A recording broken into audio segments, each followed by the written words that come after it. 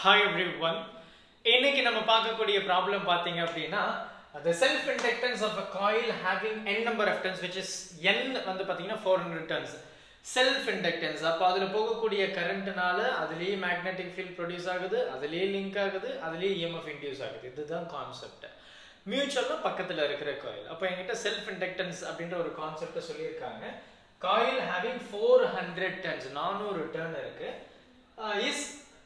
Ten milli Henry அதாவது self inductance L கொடுத்துருக்காங்க four hundred turns கொடுத்துருக்காங்க. The magnetic flux through the cross section of the coil corresponding to current of two milliampere so என்ன சொல்கிறாங்க அப்படின்னா எனக்கு current கொடுத்தாச்சு.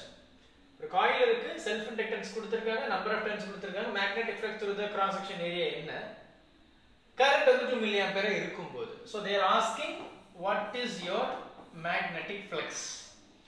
what we know அப்படின்னா உங்களுடைய flux directly proportional to I right நம்ம படிச்சிருக்கோம்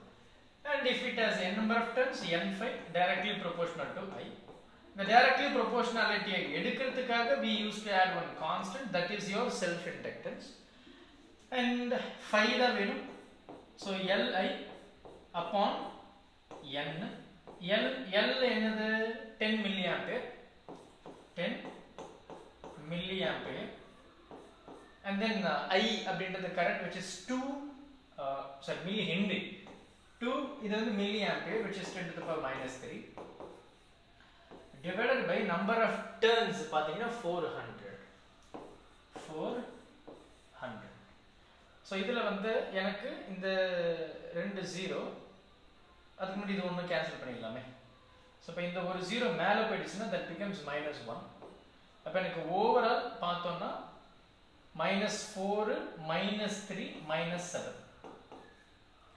இங்கே ஒன் டைம் இங்கே டூ டைம் இப்போ one by two is nothing but point five so அப்போ உங்களுடைய flux which is equal to zero point five into ten to the power minus seven weber so இதுதான் நமக்கு வந்து இருக்கக்கூடிய ஃபைனல் ஆன்சர் பொறுமையாக பாருங்கள் டவுட் எதுனா இருந்தது அப்படின்னா மறக்காமல் கமெண்ட் பண்ணுங்க. Thank you help this with a smile